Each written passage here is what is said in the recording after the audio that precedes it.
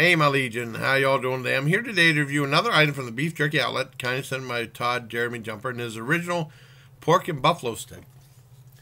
And um, I've had buffalo before. The last time, there's a place in Edinboro called the Wooden Nickel Buffalo Farm. Yeah, I've tried. I mean, I went to the. They had like a little restaurant. I don't know if it's still there anymore. I went there a long, long time ago. And I, I tried some of the stuff when they were at uh, the Albion Fair uh, a year or so ago. Well, I mean, more than a year ago. Let's go ahead and try this out. It's supposed to be healthier for you and leaner. Try it out.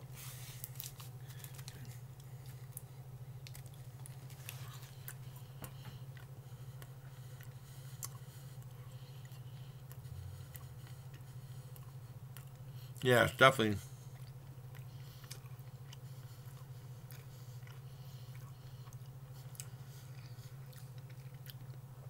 leaner, tougher type of meat.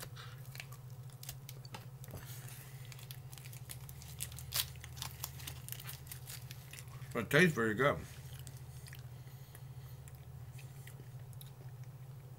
I know my buddy Todd filmed a video um, at the Beef Jerky Outlet. That place looks phenomenal. It'd probably be, I'd probably spent a lot of money there if I had went there. I think it's really good.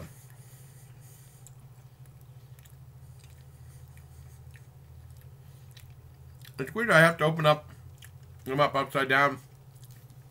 But sometimes it's too tough to open them from that packaging up there. It's easier to open them on the bottom. There's one you have to tear. It's not the peel and open ones like Slim Jims. I like these real well.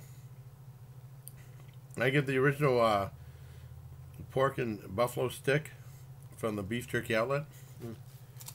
9 out of 10. So I hope you like this video, buddy. Until next time, please, take care my legion.